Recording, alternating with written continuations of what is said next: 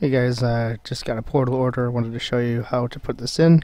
First we'll search the user's phone number. It does appear as if he exists. We'll double check the address. The addresses are not matching up here, so we'll go ahead and add a new address. Again, I'm just pulling this off of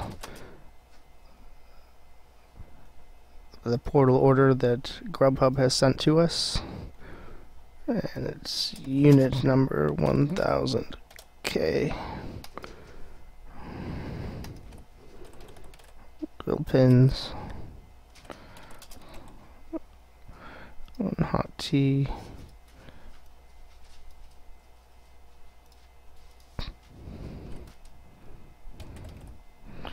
Then number five sandwich. Whole pretzel bun with nacho cheese Doritos.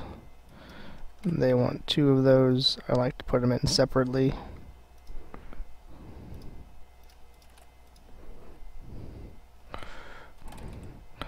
One order of nacho cheese Doritos. Our subtotals are matching. I add the tip. Adjust the delivery fee to match what we have it set as over in Grubhub. Then I drop this down, make sure our totals match, which they do.